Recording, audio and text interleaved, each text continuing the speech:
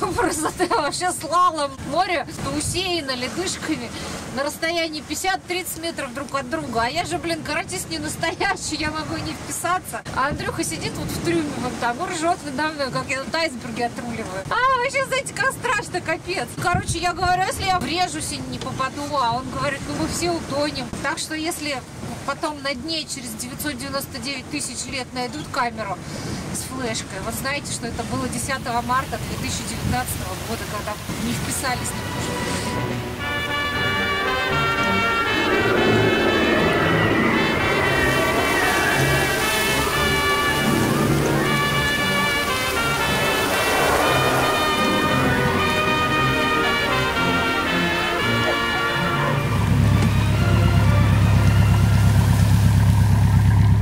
это поле мы только что пробивались. Да. Прицепили с собой небольшой айсберчик. Вон краску на нем оставили. Красную, где мы носом везли эту глыбу.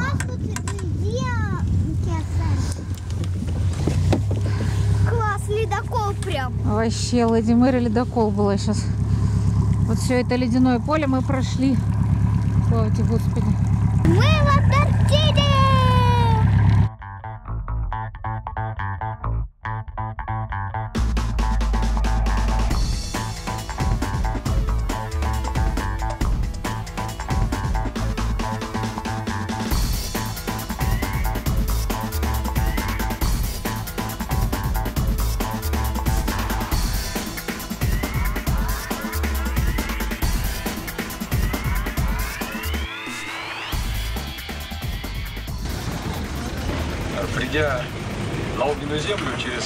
Пролив Дрейка из Тихого океана, пройдя мыс Горн, мы увидели достаточно много яхт, которые э, стоят здесь или приходят из Антарктиды, или уходят туда.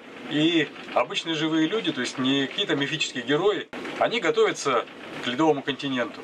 И мы посмотрели, пообщались с ними, э, получили много всяческой информации полезной. Нам перепали карты, нарисованные вручную с, э, с местами стоянок, с э, проливами, с подходами к островам, с подходами к материку, к антарктическому. Мы поняли, что ничего сложного для нас уже нету подготовить технически нашу яхту э, для этого перехода и пошли. Вот там вот стоит три яхты посередине ярко-оранжевая. Это не наша. Наша первая белая. А последняя белая Халбер Краси с маленьким ребенком трехлетним на борту. Пытались пробиться в сторону Бразилии. Два дня мучились против ветра.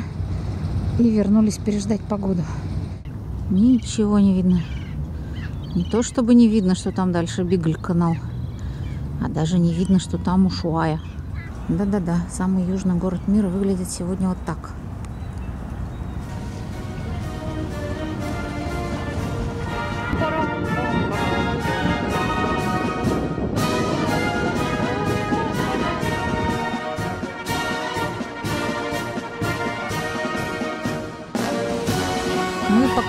Бигль идем в Антарктиду, страшно подумать. Кому не сказали, идем тайно. Капитан, что вы чувствуете? Чувствую, что не поймают.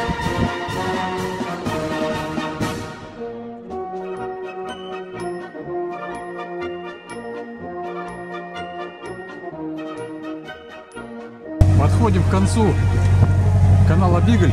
Полдня шел снег. Лопатой отгребал его с палубы. Но, в принципе, не очень холодно. Где-то плюс 5, наверное. Но у хауры рыбаков резиновые перчатки из толстой-толстой резины. Они еще и с начесом. А внутри флисовые перчатки еще под них одеваешь.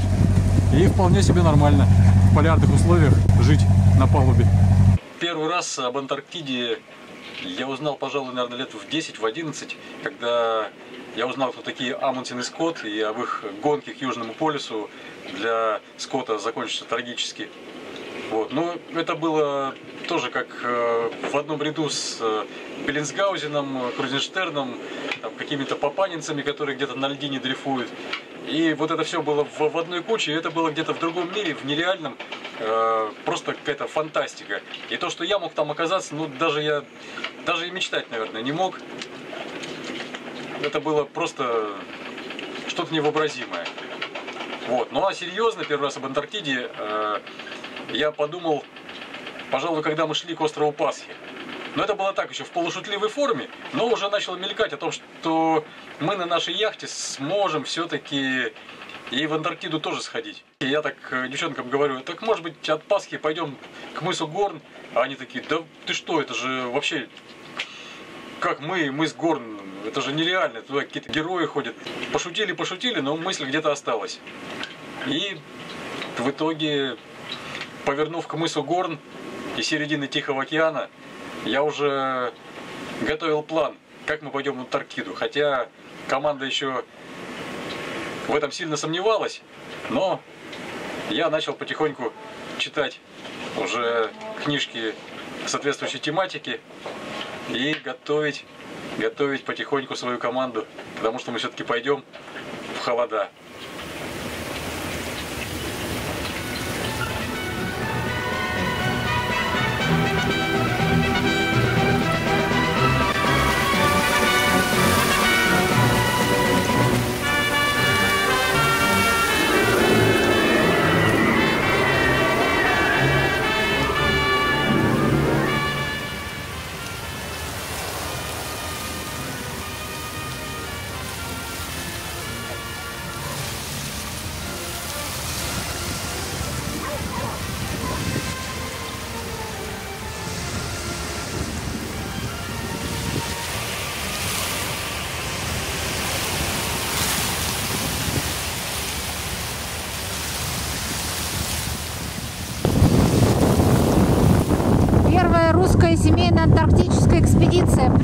Приближается к первой стоянке у ледяного континента. Обычно дети в своих фантазиях храбрее, чем взрослые. И вот когда я была в возрасте 13 лет мечтала покорять моря и океаны, бороться с ветрами и ставить паруса, уже тогда, прочитав э, первую книгу о полярных широтах, я решила, что нет, в холода я никогда в жизни не пойду, ни за что и никогда, даже вот в том самом возрасте. Поэтому для меня пойти спустя 30 лет в Антарктиду было событием сверх, сверх необычным. И, собственно, первый раз, когда мы заговорили об этом, это была дорога к острову Пасхи. И мы были на палубе, и Андрей, сидя в кокпите, задумчиво глядел на передние паруса и сказал, надо бы нам э, закрутки передних штагов поменять э, на карабины. Я говорю, а зачем? Да, говорит, закрутка замерзнет в Антарктиде. Ну, я вытаращила глаза, это была немая сцена. Как? Какой Антарктиде? Ха-ха-ха, ты что, с ума сошел? Поменялось все буквально на считанные дни сначала, да, потом еще в течение двух месяцев решение зрело.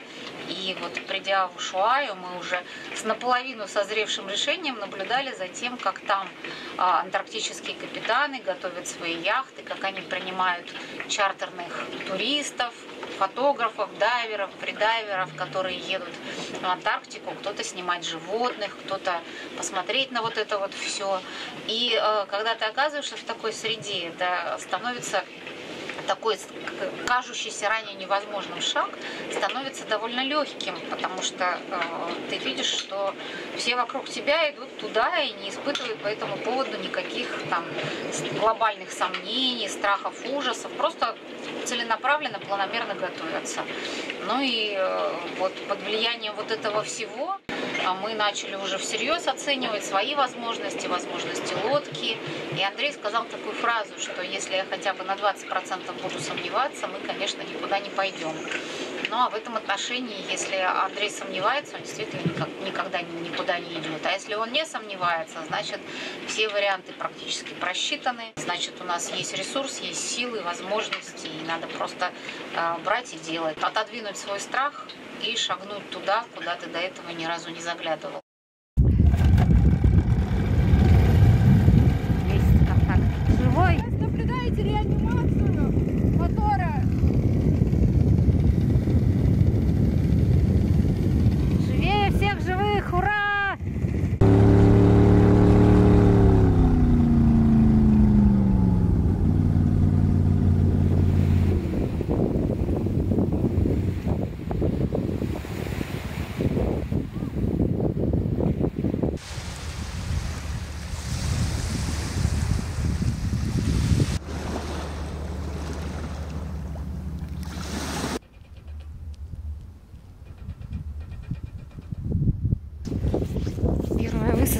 Станцию Белесгаузен.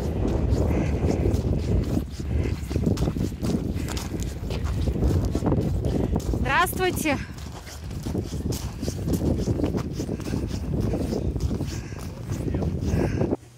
Ну что там, Настя, с книгами? Ну, понятно. Можно, конечно? Это ветер, это температура. Вот здесь визуализация ветра. Вот давление, видите, давление падает. А что, что с прогнозом тогда вопрос? А вот я вам как раз хочу показать прогноз. Ну, погода хорошая, но минус, видите, уже под минус 4. Ну, вот, Так, это, это на когда? Это на... Это вот на завтра. Это на завтра. Вот это завтра, послезавтра. Вот это недельный прогноз. За- завтра, завтра днем будет минус. Вот это недельный прогноз. А, ну, кстати, смотри, завтра 14 Да. метров дают. Ну, мы завтра стоим. Ну да, лучше вот 28 Ну, здесь, в общем, будет сложно высадить, только если ветер с- на, на берег. Вот когда волну на- нагоняет такую вот. Мы сегодня пришли, тут ветер с берега, да? Но мы закинулись вот под этот ветер. То есть мы же якорь видел, оттягивали в эту Да. сторону. Ну, в общем, а- а- особо здесь вот э, вы- высадка сложная, это когда ве- ветер с стороны моря. Ну, вот э, самая волна идет. Мы идем на чилийскую почту. С Антарктиды можно отправить письмо. Здесь есть почтовое отделение, сувенирный магазин, банк. И даже два ребенка родились. А еще здесь есть школа. Но это все на чилийской стороне. Как настоящая почта.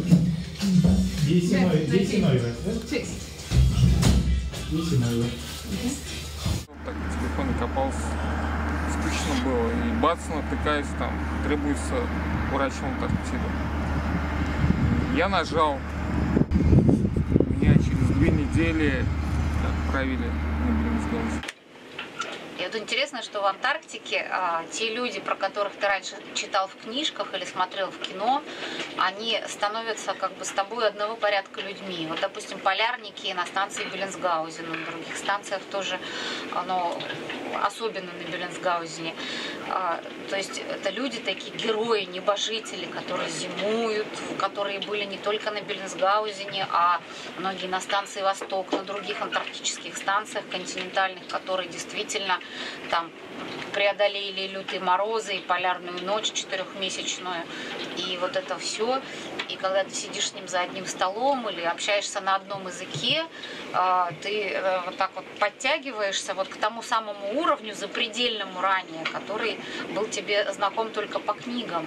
И вот это вот такая удивительная трансформация, и в душе в твоей она тоже происходит, потому что ты тоже становишься другим человеком, ты становишься на шаг выше, ты можешь на шаг дальше, да, ты можешь больше, и ты действительно веришь, что э, если ты упрешься и задашься целью, то вообще возможности безграничны. как увеличительное стекло прожигает, и ты по ним считаешь, сколько времени было это. А как вы меряете? Ну вот, часовые стрелы идут. Вот. Нет. А, ну то есть Ну, прожиг. глубина прожика не, Не, не, важна. не, имеет длина значение только именно, да? длина. Вчера мы были в гостях у полярной экспедиции Беллинсгаузена, и они надарили мне кучу подарков. Я представляла э, их не такими добрыми, а более суровыми. То же самое про полярных капитанов. Ты стоишь с ними борт-о-борт, пьешь вместе чай, а, разговариваешь о путешествиях, какие-то свои байки травишь, какие-то их байки слушаешь. И получается, что ты вошел в этот круг, а, ну, просто потому, что ты вот нашел в себе силы, нашел в себе ресурсы, сделал вот этот шаг, но не побоялся. И, и тогда ты оказываешься там, где ты представить себе не мог. И это, это очень круто, это воодушевляет, заряжает, у тебя вырастают крылья. И вот Антарктида, это была такая точка тоже, трамплин, на котором выросли крылья. Такие белые, с бирюзовыми проблесками, а, со вздохами китов, э, с кряканьем пингвинов, и это было так здорово. Между полярными базами э, полярники передвигаются на местных маршрутках. Голосуют на дороге, и водители подбирают всех желающих.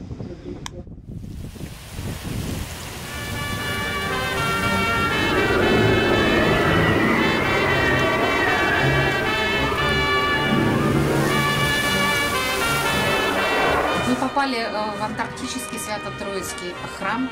Это а, самая южная круглогодичная православная церковь в мире. Строили ее а, в том числе наши знакомые. И вот, наконец, мы тут оказались. Это совершенно удивительное событие. В 2003-2004 году храм был собран на Алтае сибирского кедра, потом разобран и доставлен сюда пароходом академик Вавилов. Было очень много интересных историй при строительстве храма. Щели сначала хотели конопатить мхом, но прознав какие тут ветра и как сложно доставить мох, э, другую биологическую массу с другого конца света, э, сверху э, залили все это каким-то похожим на краску герметиком. Так вот выглядит храм внутри. Здесь просто восхитительно пахнет сибирским кедром, практически как у нас дома. И э, вот здесь вот э, очень интересная история у этой иконы, икона Николая Чудотворца. Она сделана из российских э, камней полудрагоценных. Тут яшма, малахит, видимо, используется, да, вот он. И вот эта икона была доставлена в храм э, нашим знакомым Сергеем, который вез ее через много границ в рюкзаке нелегально, потому что не успевали получить разрешение не только на то, что икона не является художественной ценностью, историческим наследием, но нужно было еще разрешение, коль скоро она сделана из камней, что эти камни э, не являются какими-то там сверхважными для э, российского фонда сверхважных камней. И вот эту икону везли в рюкзаке, с боков были поставлены банки со спиртом, и где-то на границе пришлось везущему э, человеку сказать, что ребята, это полярникам спирт, они там в Антарктиде, понимаете, им холодно. Э, ну, такая вот особенность э, архитектурная, это 8 цепей. Храм стянут цепями, от Маковки, mm-hmm. вот, и вот эти цепи уходят в фундамент, в скалу туда mm-hmm. вот. А, потому что очень сильные ветра, вот у нас, вот мою прошлую зимовку было до 47 метров в секунду, это достаточно много. Ураганные ветра. Да, и храм, в общем, это было здорово молиться, как будто на борту галеона какого-то. То есть скрипит обшивка, цепи скрипят там от натяжения. Службы слушаем на двух языках, на испанском и на русском. Вот, на испанском для чилийцев и уругвайцев. Ну, э, костел-то есть, они построили уже после нашего, они посмотрели, что это русские поставили, надо нам тоже. Вот, а священников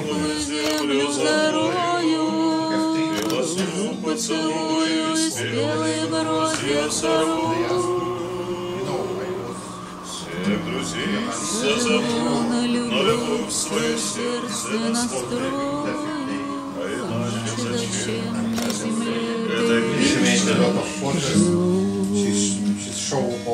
нам подарил священник Максим. И это настоящие свечи из настоящего воска.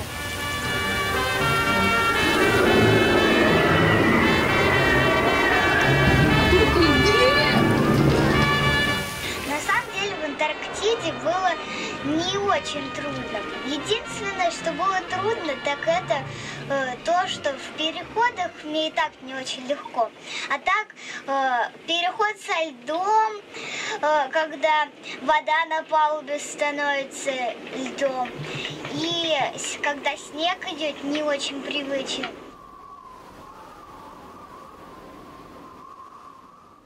Я представляла, что там будет не так много животных и э, что вообще там равнина, э, а там оказалось, что э, айсберги очень красивые, голубые. Антарктида – это прямо супер. Мне там больше всего понравилось. Э, во все... Э, я ведь много путешествовала, но Антаркти... в Антарктиде мне понравилось больше всего.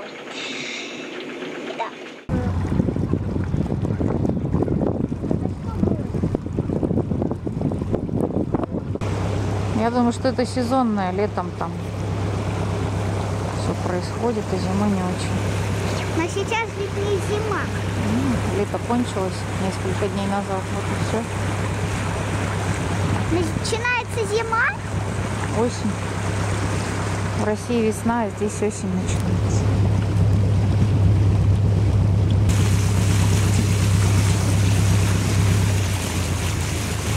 Там на горизонте светится золотая полоса. И, судя по всему, это айсберг длиной километров 10. И похоже, там больше нечему светиться, кроме как ему, потому что земли в том краю нету. Да, таким айсбергом э, Так же, как ураганам собственные имена дают. Вот. Но в данном случае это буквенное обозначение. По-моему, это А71 вот он называется. Какие горы, капец. Вообще не передает просто. Глубина 3 метра. Вот оно дно. Коралловые рифы. Андрюх, мы не сядем, а давай-ка взад. Что-то совсем близко.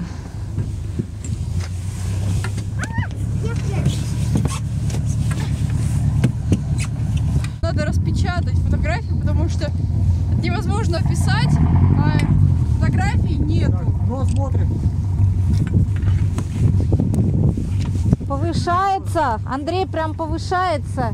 Ну, я не могу никуда позвонить. Вон там высоко.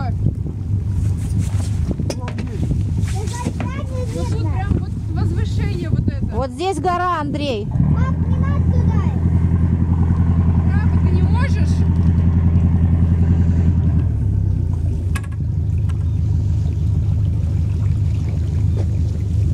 Где возвышение?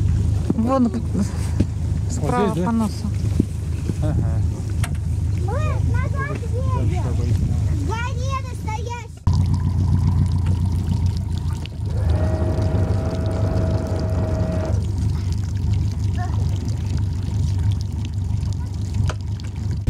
Готовим якорь.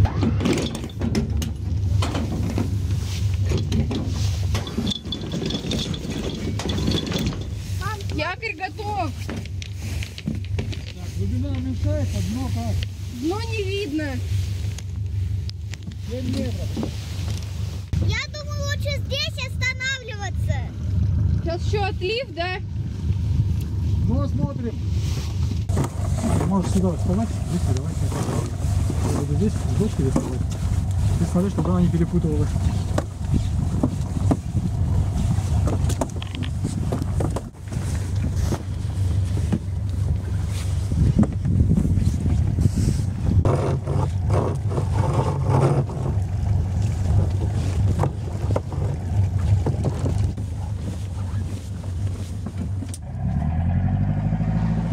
В Антарктиде надо не только встать на якорь, но и привязаться к берегу, иначе лодка развернется и ударится об лед.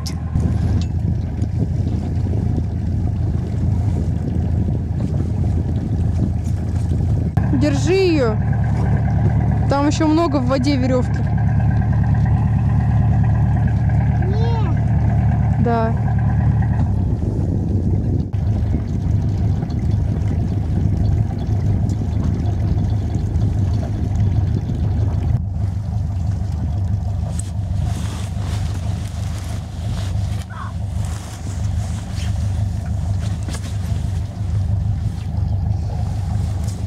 надо, чтобы она была э, высоко.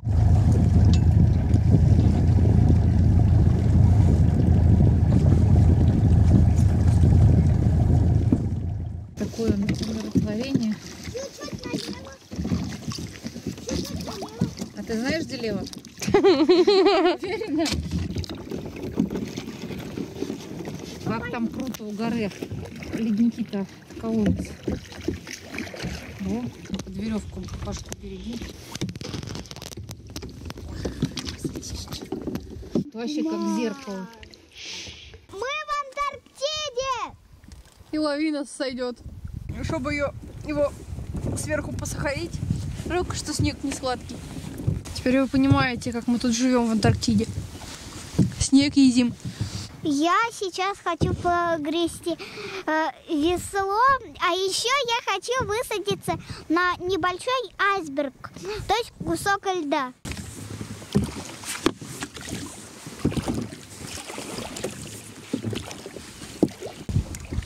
Просто синего цвета, ну Да вообще. вообще. Кажется, что так не бывает. Такого голубого цвета. Сейчас нет ни солнца, никаких подсветок. А лед вот такого вот голубого цвета. Как так? Так, давай немного к нему подойдем. Мне нравится все. Как-то ожидалось просто, что это будет какой-то... Не знаю, как-то не так мне это представлялось. Не представлялось, что это будет так красиво. Просто мне казалось, что это будет снег высокий какой-нибудь. Но Как-то вообще совсем не представляла, что будет красиво, что вот такие льды голубые, голубые, просто вообще нереально голубые. Что я даже не знаю, то есть я вот говорю, что я буду писать в дневник, я даже не знаю, как это все описать, потому что это невозможно описать. Тут, мне кажется, все время хочется просто восхищаться всем. Там на айсберге лежит парочка котиков. Мы хотим к ним подплыть, поздороваться. Это как-то невежливо. А айсберги образуются вот здесь из таких ледников. Вот она, Марина ледника, спускается в море. Когда она переспускается, от нее откалываются куски. И с гулким грохотом обрушиваются в воду. Становятся айсбергами. Шире ледник, тем больше может отколоться, тем больше айсберг. Какие чудеса. Уже вечер.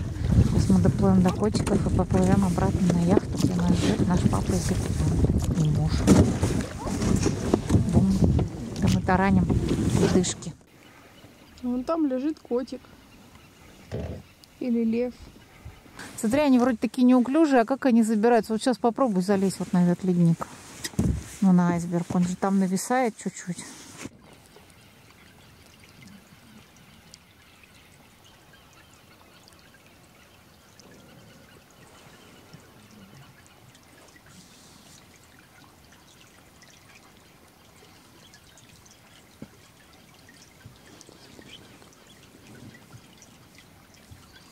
Чешется.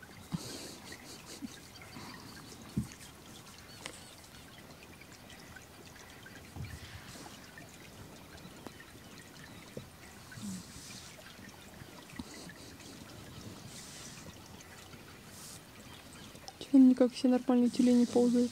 Может, у него ленька какая-нибудь весь плавненький, вон чешет.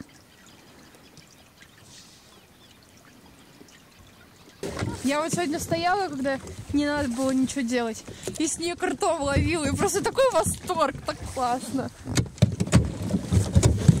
И снежинки еще такие большие-большие, красивые, разные.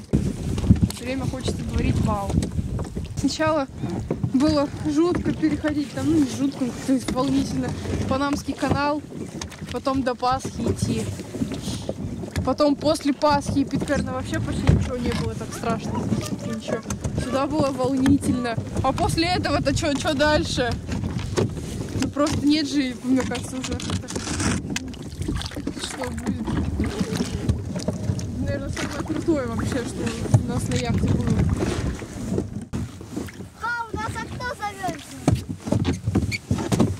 Держитесь. Есть место интересное такое. Здесь два ледника сползают в воду. Вот здесь вот этот и вон там. Вот они периодически что-нибудь обрушается. И если ветер будет в нашу сторону, то мы сможем простоять долго. До весны. Наш поход в Антарктиду – это, пожалуй, был самый сложный этап из всего нашего путешествия вокруг света. Ну, во-первых, пролив Дрейка, то есть это самый штормовой пролив в мире, самые опасные воды планеты здесь. И нам предстояло его пересечь два раза с севера на юг и потом на обратном пути с юга на север. Через пролив Дрейка каждые 3-4 дня проходят шторма достаточно сильные. И вот надо как-то втиснуться между ними, то есть либо перед штормом успеть пробежать и потом все-таки на подходе к Антарктиде хвост его поймать, либо же выйти э, на хвосте шторма и потом часть пути пройти более-менее спокойно. Но э, всю нашу дорогу мы без штормов про пройти не успевали. У нас это занимает на, на нашей яхте с нашей скоростью 5, а то и 6 дней э, дойти от э, Ушуаи до э, Антарктиды собственно. Вот. И один-два дня как раз выдавались на э, такую нелетную погоду. Вот, нам пришло, при, пришлось очень сильно так э, попотеть над э, метеорологическими картами для того, чтобы выбрать э, хорошее погодное окно, чтобы мы все-таки успевали э, проскочить и нас не особо сильно потрепало. Приходилось нести вахту круглосуточную всегда. То есть, несмотря на то, что мы идем куда-то на, на якоре стоим, там вот э, стояли в бухте, вроде как защищенные, пришвартованные, но тем не менее всегда круглосуточно была вахта. Потому что могут прийти льды, могут запереть э, в какой-то бухте, может обрушиться ледник, могут просто приплыть льдины какие-то, которые могут повредить корпус. В общем, очень много сложностей. Часто меняется ветер. Ветер э, из э, легкого бриза становится штормовым просто неожиданно. И этого даже может не быть в прогнозе. Мы и айсберг в ночи. Поздравляю, куда бежать. Картина Репина.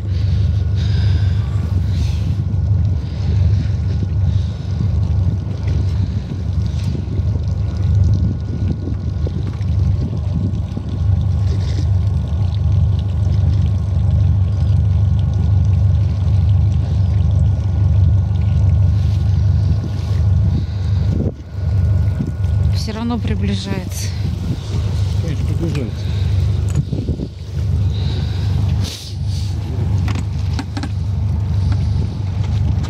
Ой,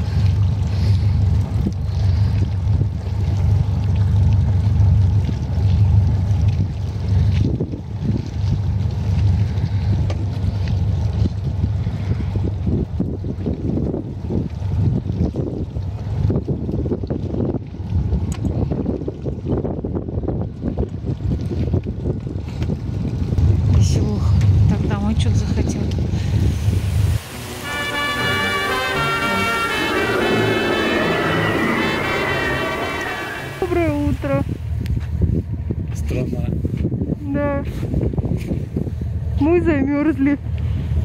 Совсем.